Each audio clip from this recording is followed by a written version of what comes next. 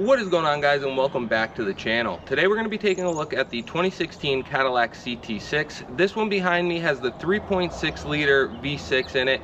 It also has about 40,000 miles so we're going to go through some specs, some things I like about it, some things I might dislike about it. Then we'll fire it up and take it for a ride. So let's get through the intro and jump right into today's video.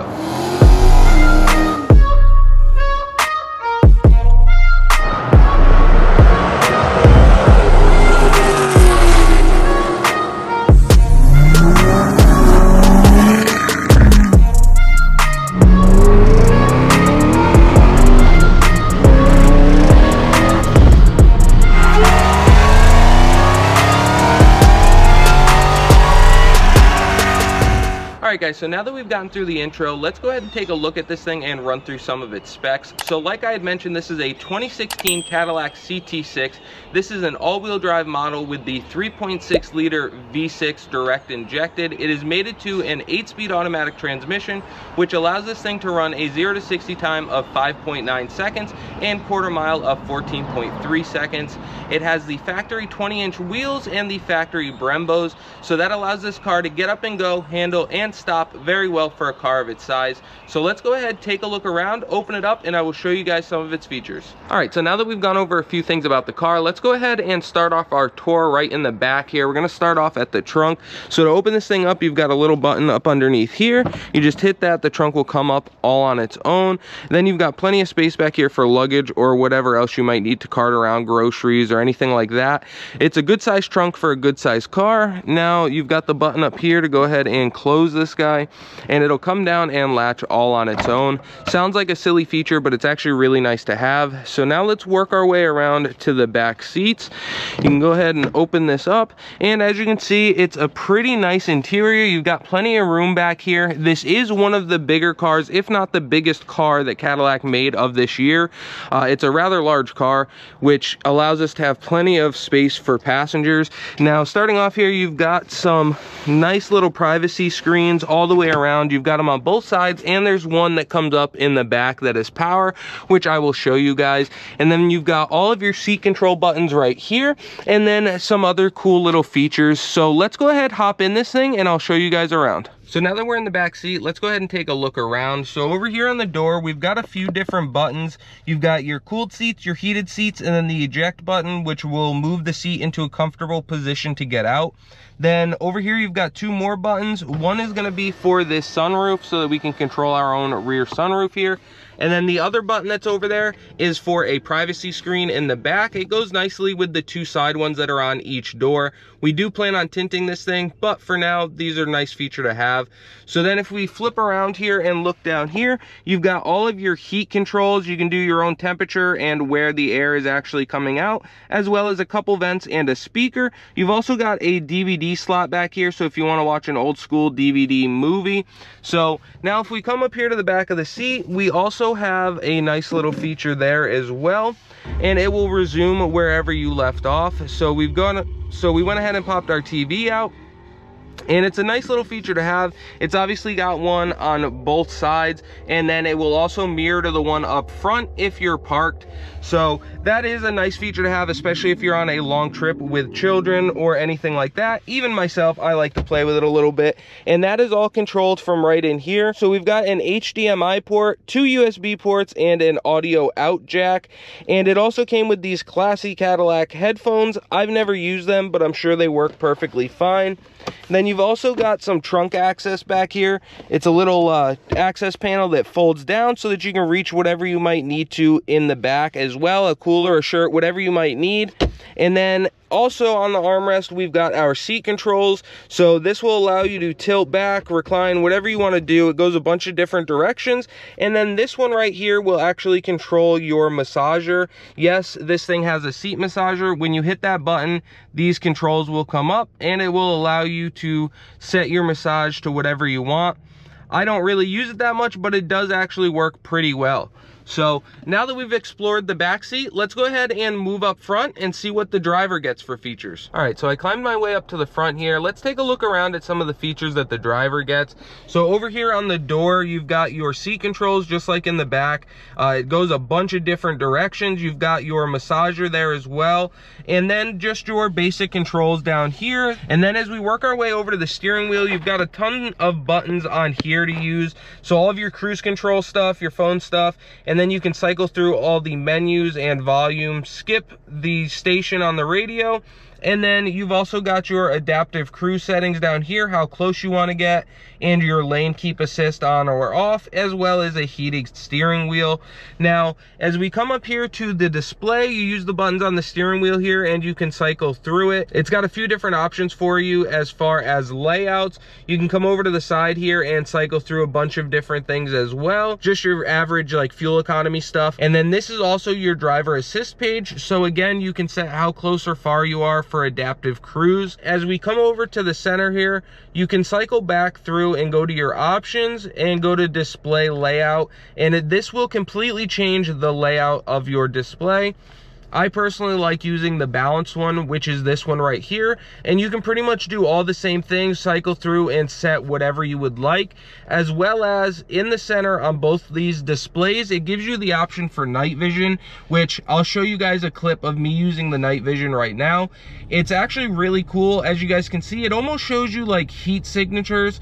Uh, really nice feature to have, especially at night. And if you're in a wooded area with like animals or little kids or anything, this thing is definitely me before with a deer. So now let's transition over to your main display here. Now, as you can see, it's got a bunch of different options up here. You can go to your climate, which you can also control down here. So all of your buttons that are down here, you can also control up here on the screen. This car does have an ionizer filter, which is just like a purification system. So if we turn this off, we can go back to our main screen and you can control the rear video. You can see what they're seeing.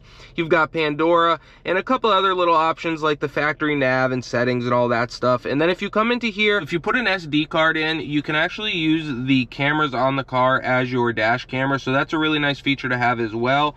And then you've got this camera button, which will show you the cameras around the car. You've got your bird's eye view to the left over here and then your rear camera. I'm not sure how to pull up the front camera, but it does have have one for when you're pulling into a space. It'll tell you when you're getting close and pop up with the camera. So those are really nice features to have as well. And then we've obviously got Apple CarPlay. You can get into here and show your maps and all that stuff. But it is a nice big screen. I'm not sure the dimensions, but if I can find it online, I will show them to you guys right down here at the bottom of the screen. But when you get into maps, it's a nice big view. You can see everything, so I really like that. And then down here, you've got this pad, and you can move it around and select whatever you need to control the main screen right from here, which is a nice feature because your hand just happens to lay here. So I really like having that. Your cup holders also are right here. They're nice hidden and flip up to open up for you. Now, some of the other things that I really like about this car are some of the details. As you can see, we've got a nice carbon fiber piece that trims this car out. I'm not sure if it's an appearance package or part of some package. And then if you pull the shifter all the way down to manual mode, it will let us use the paddle shifters up here on the steering wheel. They have a really nice positive feel to them. They click nice and firm so you know that your input was taken. But I really like having the paddle shifters. It makes the car feel a lot more sporty and fun to drive. Now, some some of the things that I don't like about the inside of this car is one of them is this glove box. If you hit the button there, the glove box comes flying down at you. But for the size of car, you'd think it'd have a nice big glove box. It's really not that big. You can just fit your insurance and all that type of paperwork in there. But other than that, not a whole lot of storage room in the glove box. And the same could be said for this little armrest here. This flips up and allows you to plug in your phone for the CarPlay and uh, audio and all that type of stuff. But again, it's a very small cubby. This does flip up this way and this way. But like I said, not a huge fan of it. I just feel like it could be a little bit bigger. It does have a nice little slot for you to put your phone in that holds it from sliding around or anything like that. Now, as we work our way up here, you've got your rear view mirror, which actually turns into a camera I really like that. I always leave it in the camera setting. And then of course you've got all of your control buttons up here for your sunroof, garage door opener, lights, your emergency SOS OnStar stuff, as well as that rear visor that was up here. You can also lock the rear windows and turn all the lights on or off in the car, obviously. So now that we've gone through some of the features that you have up front, let's go ahead, let this thing warm up a little bit and take it for a ride.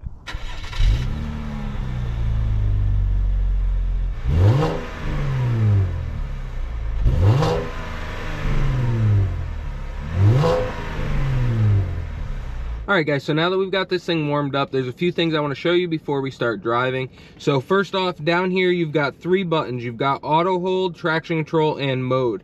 The first one is auto hold, and if you click that button, when you put your foot on the brake, if you're in drive, my foot's on the brake, I'm gonna let off the brake and the car does not move. So it's gonna hold you at a stop sign or a light or whatever. If you bring it to a stop with your uh, foot brake, and you have auto hold on, it will hold the car in place until you give it gas and then it'll start to roll. If you hit the brake and hold it again till you're stopped, it'll hold you in place once again. I personally really like auto hold. It's great for drive-throughs or uh, heavy traffic, anything like that. I think it's super handy. We're gonna go ahead and turn that off for now. Then this car is also equipped with auto start. So I'm gonna go ahead and turn that off. It's up here by our radio.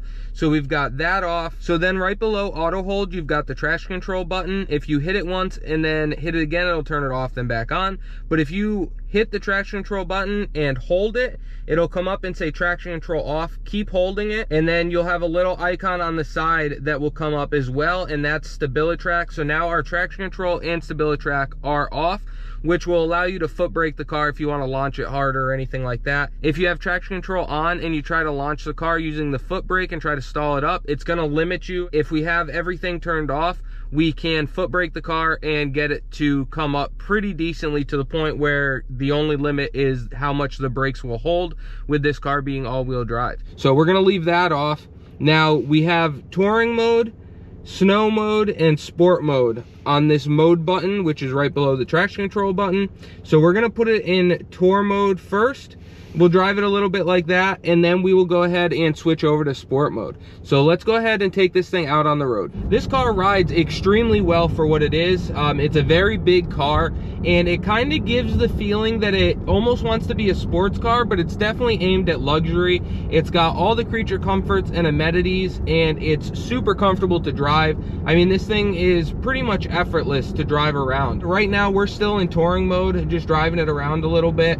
It's super comfortable. It'll upshift to keep the car nice and quiet and get decent fuel mileage. But if we go ahead and click the mode button, we're gonna put it down into sport mode. And then we will drive it around a little bit more like that. Car handles really nice. You can throw it into a corner really good for how big of a car it is. Now, like I said before, this car is definitely main focus is on luxury and comfort, but you can definitely tell that they had some sport in mind when they were doing this car because it 100% handles like it wants to be a sports car. So let's go ahead and pull up here and just see if we can get this thing to take off a little bit for us. Stall it up on the foot brake a little bit.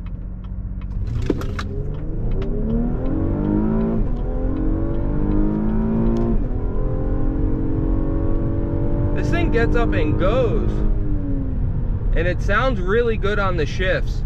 Uh, you can hear it almost like pops a little bit on the shifts. Then it holds that gear because we're in sport mode. So for what this car is, like I said, this thing gets down really well.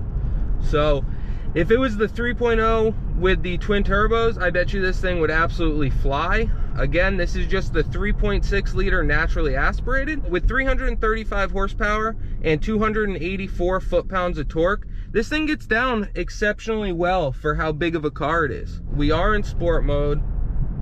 Let's go ahead put it down in manual mode for a second. So now we're in manual mode. It is in eighth gear right now, so we're gonna step that down a little bit. Now, I think this car would actually sound really good if the exhaust was a little bit louder, but again, their main concern was a luxury car, so this thing's super quiet. As you guys notice, when we floor it, you can hear it, and you can hear it a little bit on the shifts. It actually sounds pretty good for a V6 in my opinion, but it's still very quiet. So now we're down in third. Do a little 40 roll from second here.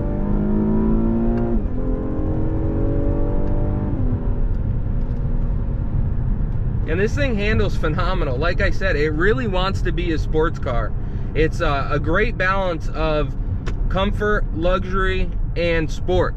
I think it would make a phenomenal daily driver for someone. When we first got this thing, I was extremely impressed with how well this thing handled. I mean, she's a big girl, but she handles her own fairly well for what it is and how big it is. I was just completely shocked. I thought it was kind of going to be like driving a boat around, but it's really not. Thing drives great, handles really good, and my biggest thing about it is it's so comfortable to drive, especially if you start turning on all the options. This thing almost drives itself. I mean, it needs very little input. So while we're driving around stuck behind a little traffic here, I figured it would be a good time to go over a few issues that we have had with this car. Earlier, I mentioned that it was at 40,000 miles. It actually just rounded 50,000. So we've had this car for quite a while now, and there are a couple issues that we have had with it. I'm not sure how the lighting is right now. I'll go ahead and kick this on. Not sure if that makes it better or worse, but I'm gonna try it.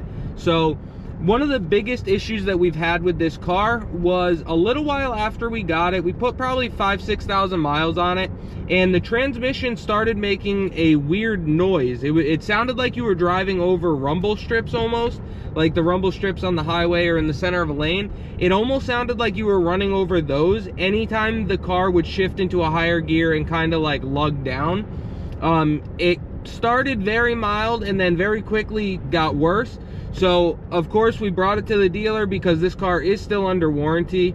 And when I brought it to the dealer, I found out that they knew that GM put the wrong fluid in the transmissions for these cars. It doesn't react well with the clutches or whatever inside this transmission and it causes that and can cause a couple other symptoms. So that was kind of annoying. We thought it would be covered under warranty, but of course it's considered a fluid, so it wasn't brother loves you, dude. He watches you all the time, he said. Tell him I appreciate that. Will do. Thanks, bro. Have a good one, man. That was cool. Just had a uh, fan come up to us. So what's up to him and what's up to his brother? I appreciate you guys for checking out the channel. But he did remind me I have my vanity plate on the back of this thing. I'm glad he pulled up because I'm going to pop it off real quick. All right, guys, so back to where we were. I had to pull over and pop that vanity plate off. I'm glad that he stopped and uh, said what's up because I completely forgot I had the plate on there and we don't have this car stickered up. So I was like, how did he know it was us? But I'm glad that he did and that was super cool. If uh, you guys see me out and about, feel free to stop and say what's up. I always appreciate it. I love the support and uh, it helps push me to continue making these videos. So back to where we were though. Um, like I said, guys, this thing is phenomenal, but we have had a couple issues with it. And that issue with the transmission was a huge blow because like I said, it was not covered under warranty because it was considered a fluid and a fluid flush and fill which got pretty expensive. I want to say it was like a thousand dollars or more because they have to flush the whole system through with the new fluid. I think they do it once or twice. So that was pretty expensive and kind of something that I felt should have been a recall. But you know how it is with these big companies. If not every single one of them had an issue or if they didn't make enough cars that had the issue, they're not going to recall it. So that kind of was what it was and we just had to bite the bullet and pay it. And if anything further happens with the transmission it will be covered if there was any damage caused by that fluid. So if you guys are going to buy one of these things or are looking at buying one of these things make sure you check and see if that fluid was changed out. It does need to be done at a dealer or a shop that is well equipped with a machine that is capable of flushing the entire system. But other than that transmission issue the only other thing that we've had to deal with was the timing cover. It started leaking a little bit of oil but while we had it in there for the transmission flush and fill, they were able to take care of that under warranty. So like I said, if you guys are looking to buy one of these things, just make sure that the transmission service was done and give it a good once over for any oil leaks and make sure that gets taken care of. But other than that, this thing is driven phenomenal and we really haven't had anything other than oil changes. But it does look like it's starting to get dark on us so let's go ahead and head back to the house. All right guys so we've made it back to the house and as you can see this thing drives phenomenal. It handles like a sports car when you want it to and inspires confidence but it is also a very nice smooth and comfortable luxury car. The only thing i haven't been happy with is the transmission issue because gm put the fluid in it. I feel like they should have had to fix it but hopefully everything's gonna be good from here on out with it. If not, we do have the warranty, which will cover any internal transmission issues, just not the fluid.